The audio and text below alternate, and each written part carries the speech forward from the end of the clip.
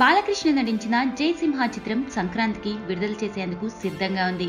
బాలయ్య అన్ని తానై ప్రమోషన్స్ జోరు పెంచేశాడు. ఇప్పటికే విడుదలైన ట్రైలర్కు అభిమానుల నుంచి మంచి రెస్పాన్స్ వస్తోంది. కాగా బాలయ్య తాను ఎన్టీఆర్ బయోపిక్ చేస్తున్నానని ప్రకటించిన మరుక్షణం నుంచే దానిపై ఆసక్తి పెరిగింది. ఇటీవల ఇంటర్వ్యూలో ఈ చిత్రం గురించి బాలయ్యకు ప్రశ్నలు ఎదురవుతున్నాయి. ఎన్టీఆర్ బయోపిక్ గురించి బాలయ్య ఆసక్తికరమైన విషయాన్ని వెల్లడించారు. ఎన్టీఆర్ పాత్ర కోసం తాను అరవై రెండు గెటప్లలో కనిపిస్తున్నానని షాకింగ్ న్యూస్ చెప్పాడు. దీనిపై అప్పుడే ఇండస్ట్రీలో ఆసక్తికరమైన చర్చ మొదలైంది. ఎన్టీఆర్ జన్మించిన సమయం నుంచి మరణించే వరకు ఆయన జీవితంలో జరిగిన సంఘటనలన్నింటినీ విఫలంగా చూపిస్తామని అన్నారు.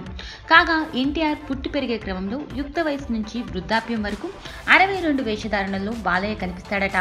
ఈ వేషధారణలో ఎన్టీఆర్ వెండితెరపై మెరిసిన శ్రీకృష్ణుడి గెటప్ కూడా ఉంటుందని అంటున్నారు. ఆ అరవై రెండు గెటప్లో ఎన్టీఆర్ కుమారుడిగా బాలకృష్ణగా నా పాత్ర కూడా ఉంటుందని తెలిపాడు.